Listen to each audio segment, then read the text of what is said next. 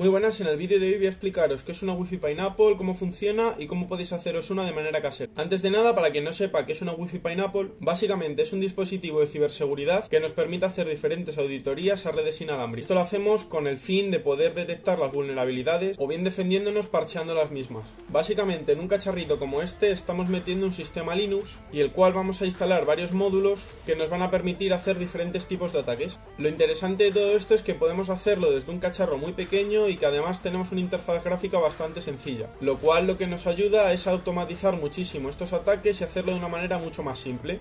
Antes de nada voy a hablaros acerca de los materiales que nos hacen falta, y es que como he explicado este Pineapple lo vamos a hacer de manera casera. Para ello vamos a necesitar un router como este que os voy a dejar en la descripción en un enlace de afiliados de Amazon que a vosotros no va a salir más caro, pero si compráis a través de ese link me vais a ayudar bastante con el canal. Y bueno, básicamente lo que tiene de especial esta Wi-Fi Pineapple, o mejor dicho, este router, es que tiene como todos los routers una memoria interna, el cual el firmware que trae lo podemos sustituir por el de una Wi-Fi Pineapple comercial. Otra cosa bastante interesante es que trae dos antenas, pero esto es algo engañoso ya que solamente podemos utilizar una de ellas simultáneamente. Es por eso que vamos a necesitar también una tarjeta de red, la que yo utilizo siempre es la WN722, concretamente la del primer modelo que es la que trae el chipset que a mí me interesa. Otro material que vamos a utilizar es un HAF USB. Esto es debido a que el Wi-Fi Pineapple que vamos a utilizar solamente tiene una entrada USB y nosotros requerimos de dos, por lo tanto tenemos que tener uno de estos. Otro material muy sencillo que todo el mundo tiene por casa es un USB. Debido a la poca memoria que tiene este cacharro vamos a necesitar de una memoria externa para poder volcar todos los datos y para poder instalar la mayoría de módulos que necesitamos para hacer ciertas pruebas. Otra cosa que necesitamos obligatoriamente es un cable Ethernet. Sin este cable no podemos hacer nada así que es necesario tener. Y por último lo que viene ya en la caja obviamente es un cable USB para poder alimentarlo. Decir que casi se me olvida, obviamente también necesitamos un par de antenas que ya vienen en la caja obviamente. Así que ahora vamos a la mesa, os explico cómo funcionan las conexiones, después os enseño cómo instalar el firmware y luego os enseño cómo funciona y os explico algún ataque sencillo para que podáis replicar en un entorno controlado. Así que vamos allá.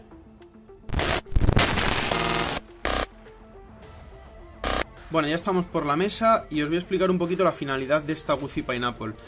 Eh, lo que necesitamos obviamente es un dispositivo que funcione de manera standalone, es decir, que no tengamos que estar nosotros pendiente de él y bueno, a nivel estético lo que tenéis por aquí simplemente eh, por la parte trasera son dos entradas Ethernet que son la WAN y la LAN. Esto para poder alimentar. Tenemos un botón de reset que es muy importante para ahora. Tenemos un pequeño switch que vamos a posicionarlo dependiendo de qué tipo de memoria necesitemos, si queremos la NAND o la NOR. En este caso vamos a dejarla en el lado izquierdo, ¿vale? Es bastante importante ya que tiene creo que 25 megas y es donde vamos a poder instalar el firmware. Luego tenemos una entrada USB, que es bastante importante también. Y bueno, para el tema del conexionado, muy sencillo, conectamos las dos antenas, ¿de acuerdo? Porque si no, esto no va a tener apenas alcance. Vamos a posicionarlas hacia arriba si es posible para aumentar la recepción. Entonces, una vez tenemos esto, simplemente voy a simular eh, un PC, ¿vale? Necesitamos un ordenador, en este caso voy a utilizar o una Raspberry Pi o un PC sobremesa o un portátil, ¿vale? Que vamos a dejar estacionado en algún lugar.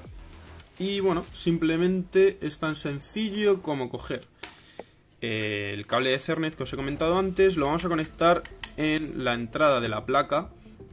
En este caso vamos a conectarlo en una Raspberry, pero podemos conectarlo a un PC, a un portátil, como ya os he comentado, y vamos a conectarlo en la LAN, ¿vale?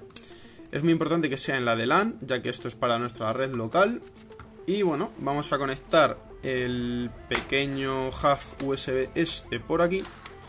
Y dentro de aquí lo que vamos a hacer es enchufar nuestra antena receptora o nuestra tarjeta red.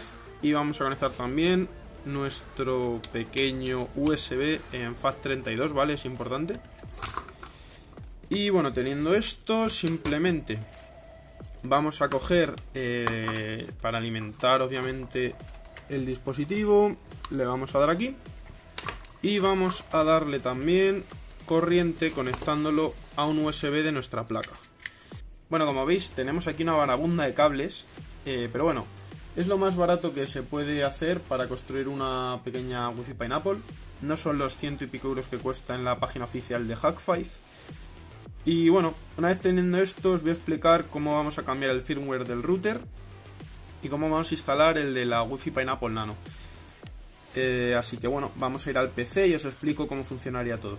Bueno, el procedimiento es bastante sencillo, simplemente tenemos que irnos a redes y recursos compartidos. Tendremos que entrar en IPv4 y cambiar la IP a la cual estamos haciendo referencia por la 192.168.1.2.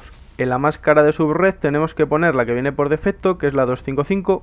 Le damos a aceptar y con esto ya tendremos preparada la red para poder entrar a la customización del firmware. Una vez hecho esto tenemos que poner el router en modo escritura, para ello voy a enseñaros cómo se hace, así que vamos a ir a la mesa de nuevo. Bueno, este procedimiento es muy importante, como veis ya he configurado los recursos de red, he configurado la IP a la cual queremos acceder y lo que vamos a hacer ahora mismo es básicamente, eh, bueno, he quitado todos los cables, ¿vale? Para que sea mucho más descriptivo, podéis hacerlo con todo conectado, no hay problema, eh, pero bueno, así también nos va a funcionar. Lo que vamos a hacer es mantener pulsado el botón de reset, ¿vale? Y vamos a enchufar. Esto va a tener que estar conectado ya a la red, ¿de acuerdo? Eh, a nuestro PC y demás. Vamos a mantener pulsado el botón de reset antes de enchufarlo. Y se van a encender 5 veces. Como veis, 1, 2, 3, 4, 5 y soltamos. En el momento que parpadee 5 veces el tema del LED rojo, simplemente soltamos. Es muy sencillo, se nos van a poner en este caso dos luces verdes y una vez tengamos las dos luces verdes vamos a poder acceder a la 192.168.1.1 y vamos a poder cargar el firmware e instalarlo.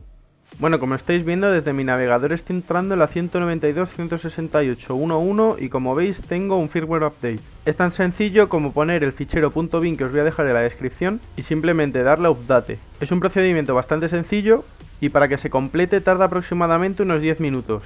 No tengáis prisa ya que es bastante importante que se termine bien el proceso, si no corremos el riesgo de briquear el dispositivo. Así que una vez os haya instalado vamos a pasar al siguiente paso. El siguiente paso es muy sencillo, tenemos que entrar en redes y recursos compartidos y dejar todo por defecto como al principio. Una vez hecho esto vamos a entrar en la siguiente IP que os dejo por pantalla. Bueno y ya tenemos una Wi-Fi Pineapple, tan sencillo como eso.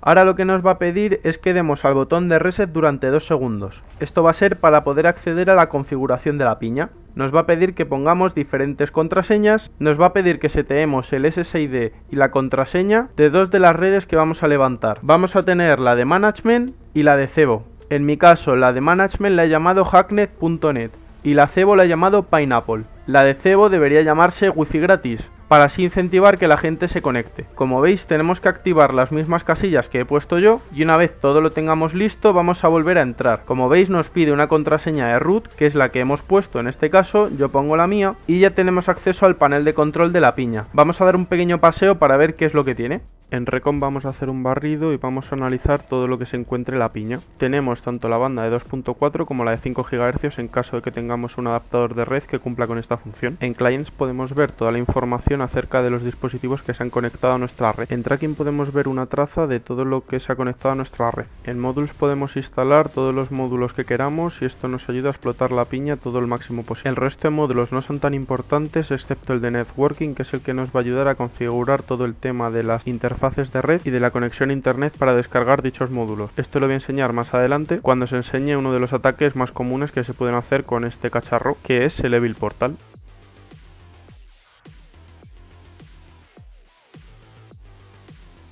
Voy a narraros lo que vais a estar viendo de fondo y es que estoy configurando la red wifi en este caso para poder acceder a todos los módulos que os he comentado antes. Concretamente vamos a descargarnos uno que se llama Evil Portal que lo que nos va a permitir es realizar portales cautivos. El ataque consiste en simular un login falso para que la víctima una vez se conecta a nuestra red le aparezca un login, introduzca credenciales que en realidad son verdaderas pero va a pensar que son de un portal legítimo. Nosotros vamos a capturarlas y vamos a poder hacernos pasar por esa víctima. Para ello lo que vamos a tener que hacer es montarnos un portal falso que si veo que el vídeo tiene suficiente apoyo enseñaré cómo hacerlo y vamos a activar en este caso el servidor que levanta el módulo y vamos a ver qué es lo que está viendo la víctima. Como veis me he conectado desde un iPad y estoy poniendo una contraseña y un usuario. Podéis ver el correo y la contraseña también aparece y cuando le doy enviar, si recargo la página me aparecen las credenciales que hemos introducido desde la web. Decir que yo lo estoy haciendo en la 192.168.1.1 ya que de esta manera es ético pero que se puede hacer para que nos aparezca como un pop-up cuando nos conectamos a la red